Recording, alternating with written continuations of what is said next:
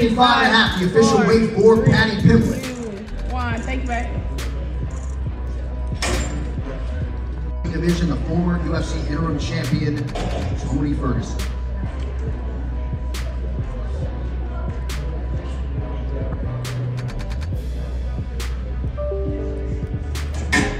One fifty-five and a half. Hey, baby. One fifty-five and a half. The official weight for the legend Tony Ferguson.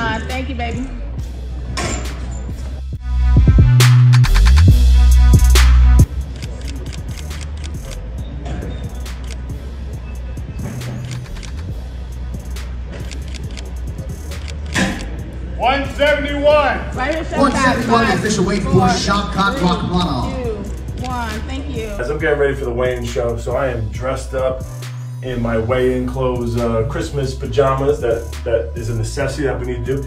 But I am here with Wonder Boy, and he is about on weight. Let's looking go, good. baby. This kid doesn't even cut weight. Look at him. He's just chilling, still jacked, still jacked and I tan. Perfectly white teeth. He's ready to go. Pops over here. What's up? Yes, What's up? Sir. And Mr. Tyler Minton. Here we go. Let's go. Let's get All All right, it. we are out. Right here, 171, the Steven. Official weight for Stephen three, Wonderboy two, Thompson. One, thank you, baby.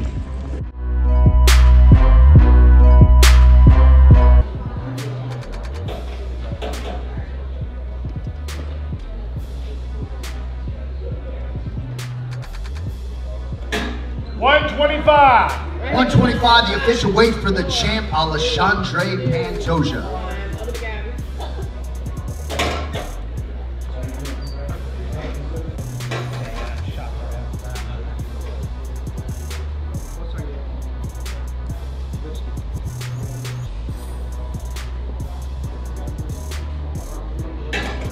124 and a half. 124 and a half, the official weight for Brandon Royval.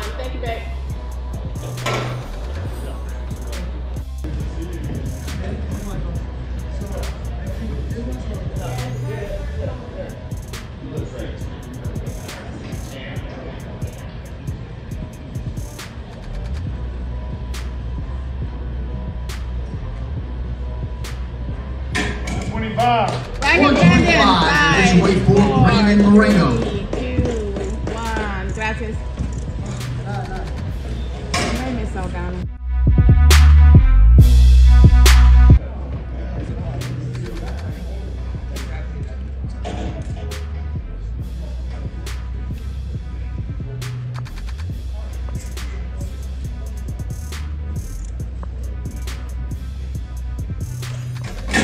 One sixty-nine and a half. 169 and a half, the official weight for Colby Covington. One, thank you, babe.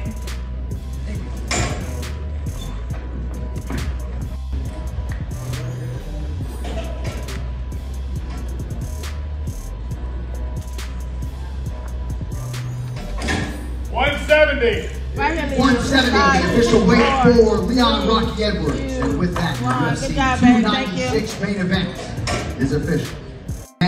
Remember the name Muhammad.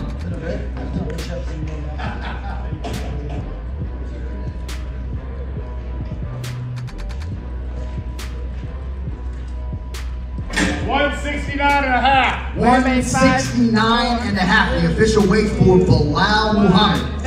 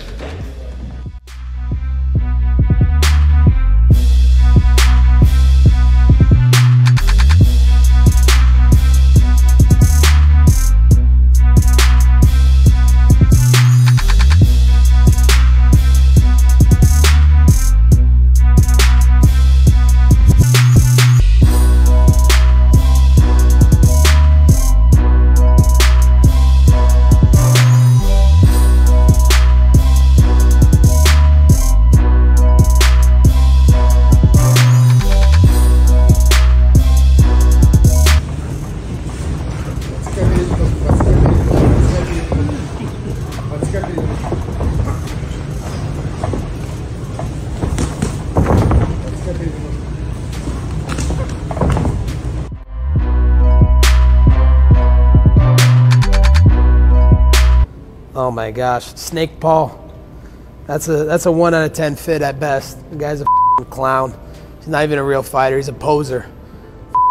Has to fight 40 year old washed up fighters because he can't beat nobody in their prime. So he's a joke of a human. I don't even know why he's on this screen.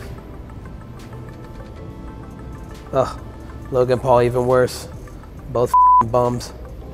I will say one time he bought me a bottle of wine though when I was at the Hard Rock Casino, so that was a nice thing. He knew a real fighter was in his presence. He, he's not a real fighter, so.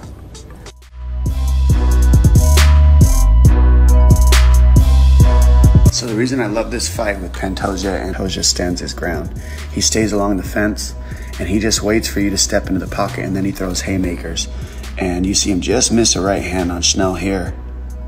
Boom, that one just misses. And then the next time he comes in, he lands that overhand right. Bam! And it floors him. I mean, he it's the same punch twice, but because Schnell is stepping into the pocket and consistently grinding and trying to pressure him, he walks right into the power punches. And that's what Pantoja does because you have to pressure him to, to take away his momentum. I think we're going to see this out of Royval. The difference is Royval doesn't just walk straight in. He push and pulls, push and pulls. He feints, he switches stance. And I think we're going to see a lot of teep kicks and jabs to keep the range. And then he's going to want to pull Pantoja in the way that you just saw Pantoja pull in, pull in Schnell. and then he throws, Royval throws the knees up the middle, the uppercuts. So it's to be a really fun. You can see these guys got knockout power, finishing ability. I'll see you guys there.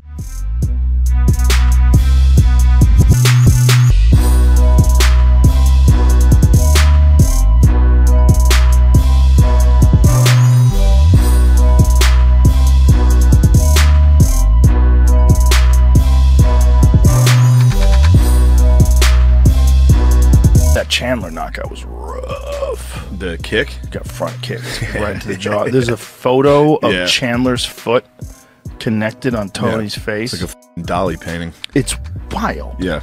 It's wild to look at like what happens to someone's face when a foot impacts their f***ing jaw. I mean, that, that's a perfect kick. And look at Chandler's f***ing quads. Imagine how much power's in that. Good lord.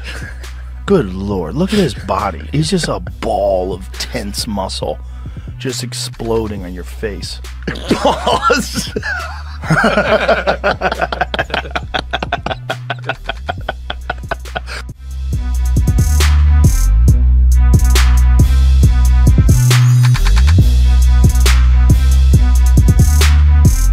Mally, he's really fast, long reach, knows how to use his reach well. He's really good footwork. Uh, the thing that we don't know though is what his gas tank looks like, and that's what I was banking on for my fight with him.